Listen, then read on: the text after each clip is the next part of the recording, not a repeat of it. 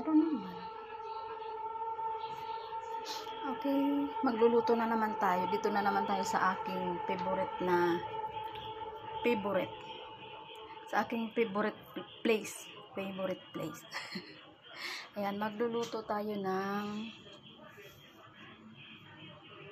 sabaw. Yung chicken soup or yung chitang.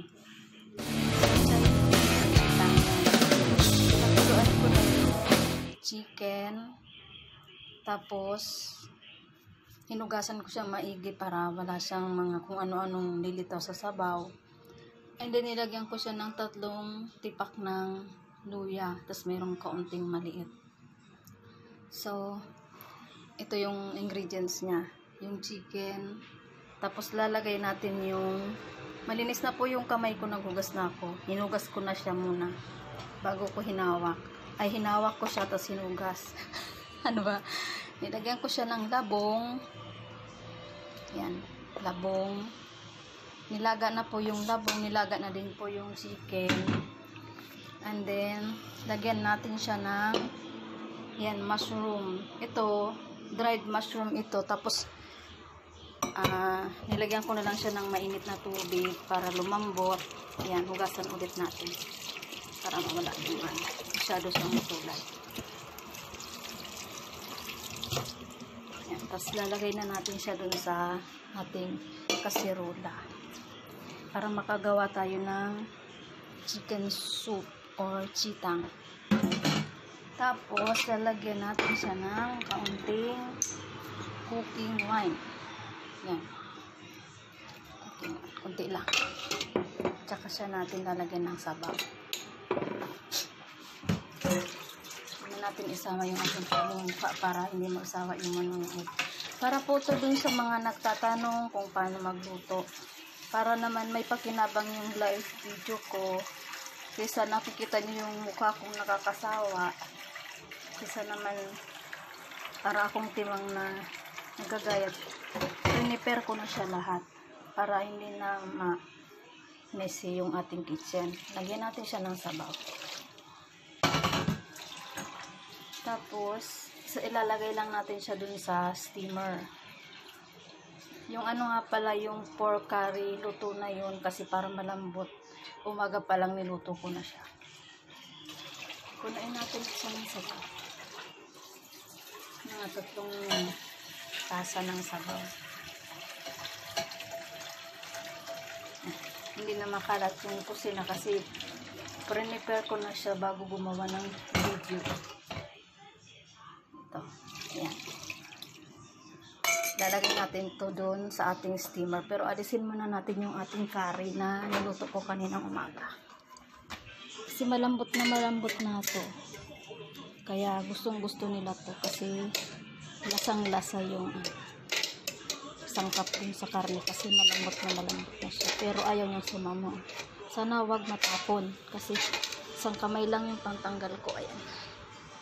Huwag kang matatapon. Lagyan natin siya dito sa mesa. Yan yung aking pork curry. Kanina ko pa yan niluto. And then, balik tayo sa kusina natin. Kuha tayo na tubig pang lagay natin sa steamer.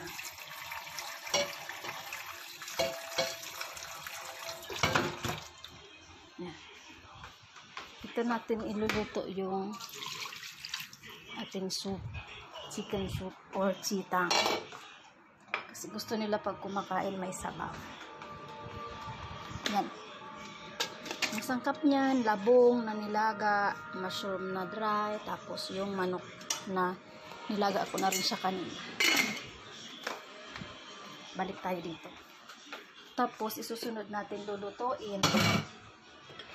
Ito lang nanonood masyado.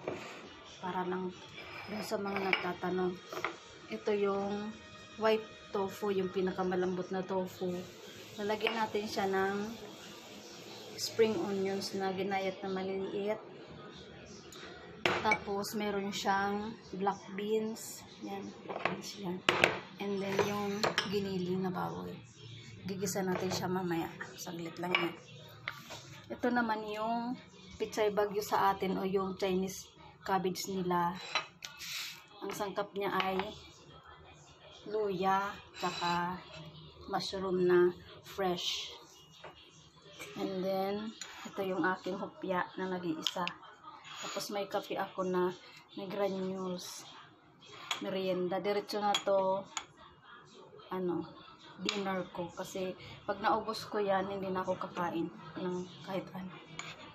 And then, mamaya, lalagay natin sa oven toaster yung salmon. Yan. Tawag nila dyan dito ay quayi. Quayi, lalagay natin dito sa loob nito. Is, i-toast lang natin siya dyan.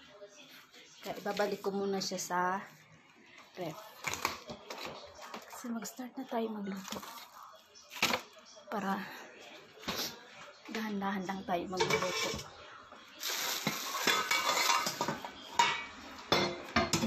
Para pagdating nila, all set na yung mesa natin.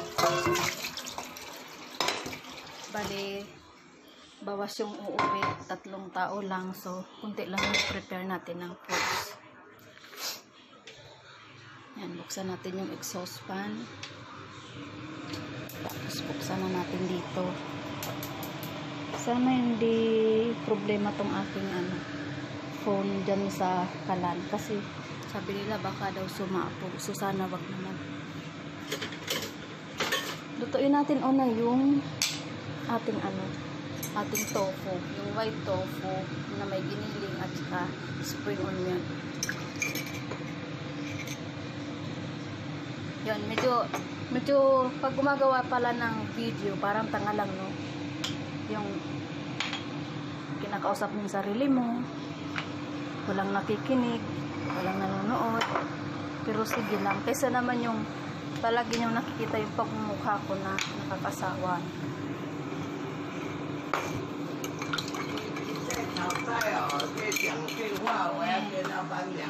Okay, ni kilaw pa niya dyan. How?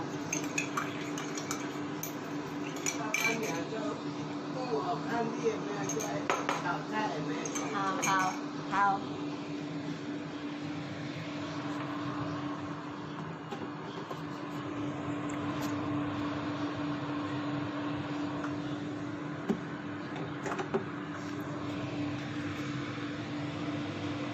Gusto natin to.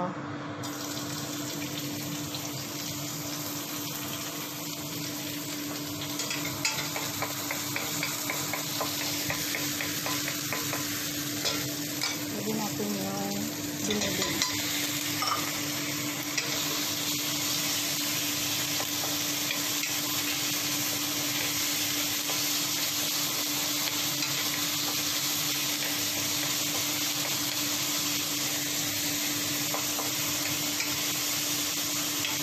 Hinaan natin yung apoy. Lagyan natin ng kaunting white wine.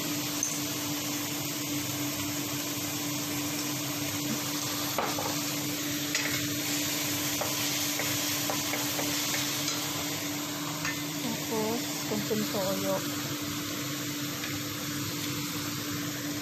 Kunti lang ha. Droplets lang. Para mabango.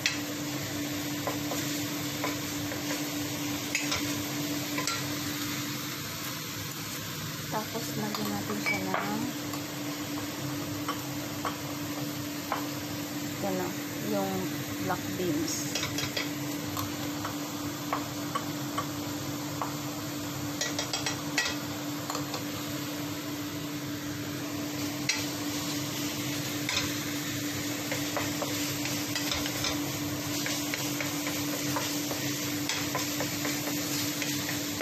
Lagyan na natin yung white tofu niya.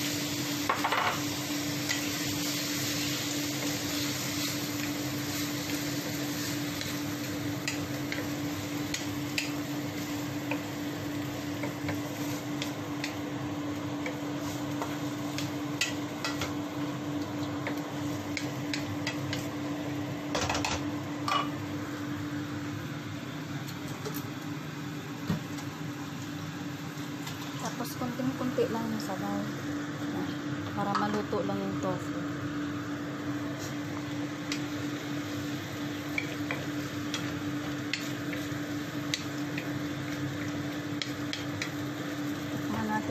hindi siya makalat.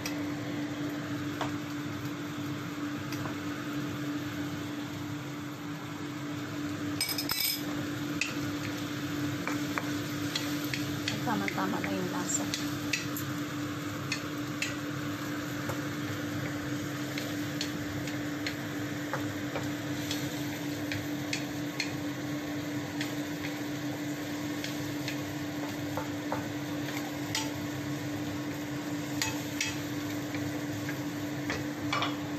Kunting pakulo lang yan, luto na yan. Huwag natin lakasan yung business natin. Naririnig tayo ng ating lola.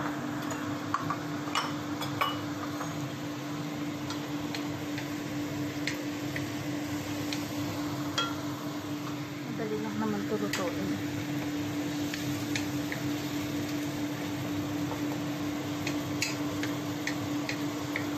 Ano, halo lang ng kunti. Tapos pag ganitong luto na siya, dagdagan natin siya ng sibuyas ng dahon para mas mabango siya. Pwede na nga.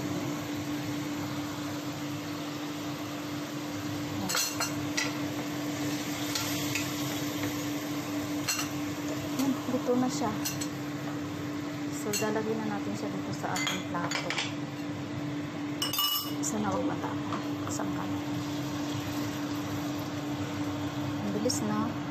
Kaluto na ako ng pangalawang putahe.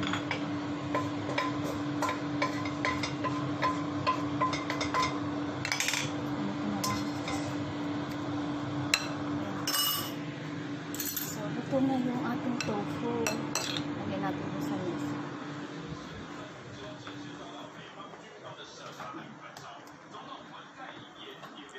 Tofu plus. Ito. Curry.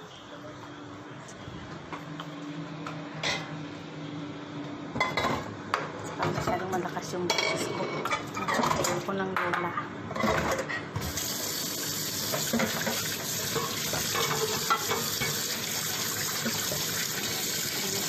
Tayo ng kawali. Tulog natin yung ano. Ito.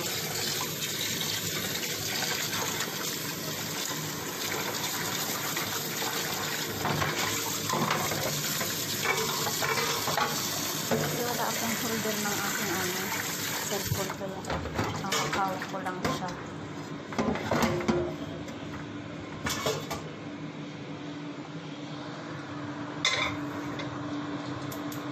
Hindi na natin luto yung isa. Yung pichay bagyo o yung Chinese cabbage. Punasan na lang natin yung kawal para mas madali na. Tapos wala na akong mantika no. Kunti na lang. Lagyan natin ng luya. Yan.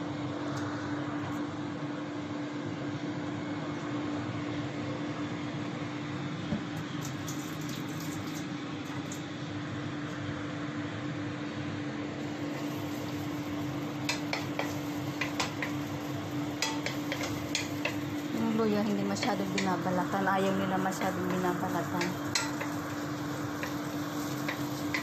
Dapat lilinisin mo lang siya. Pero huwag mo siyang balatan. Ayaw nila yun. Dapat kasama yung balat.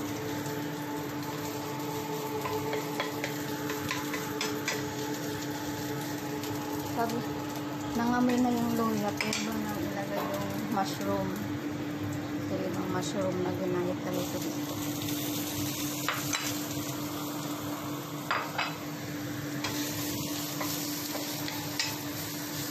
Layo na lang natin Kung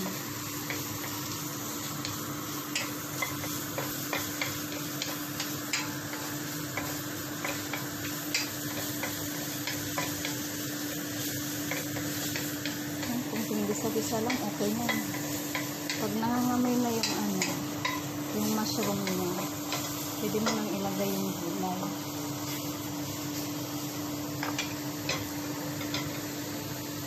Wala siyang tubig. ah.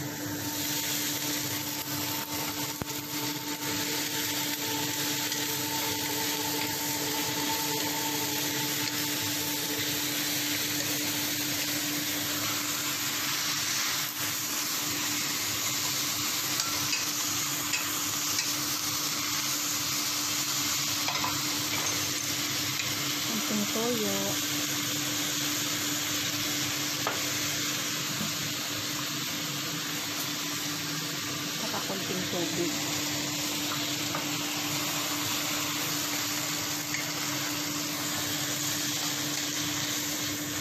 Tapos hinaan natin yung um, apoy hindi bigla yung pagkaluto niya. Lagyan natin siya ng kunting-kunti lang na asin para hindi siya maalat.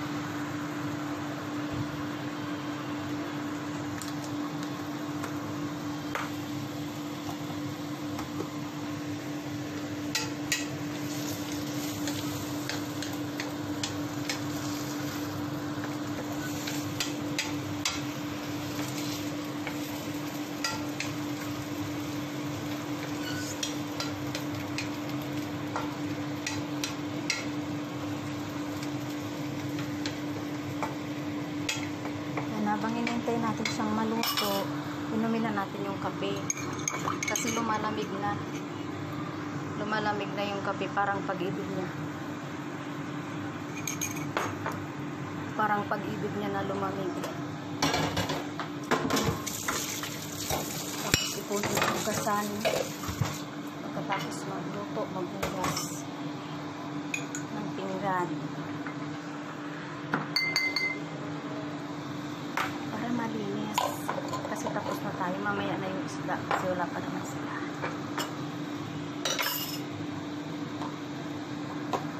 Tapos lagyan natin ito sir. Para hindi mapanis. Takpan ang wine. Ibalik sa lalagyan. Punasan ang ating ano.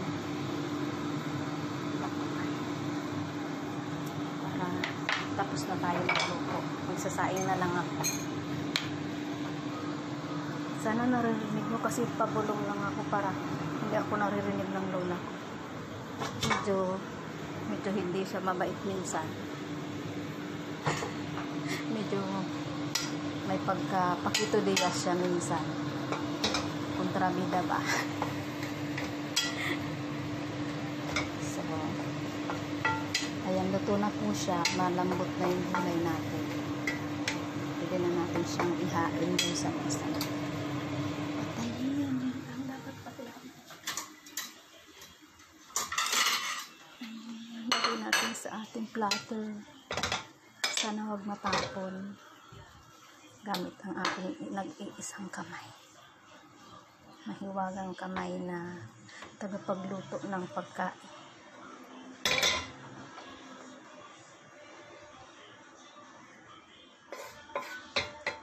Ito na, tapos na ako magluto.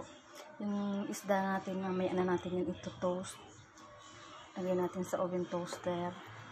Plus yung kanin na lang isasalak. Tapos na ako magluto. Hindi pa maaga kung natapos. Ang bilis lang.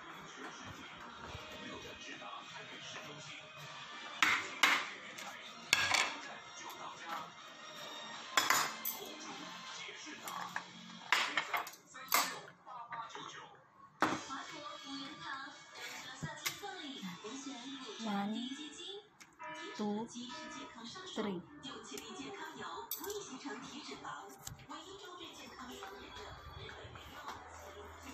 Tapos yung pang-apat natin yung nakalagay dun sa steamer natin yung chicken soup. O, diba? Tapos na tayo magluto. So, pwede na natin itong gawin. Hugasan na ma. Tapos mamaya, magsasain tayo. Yan.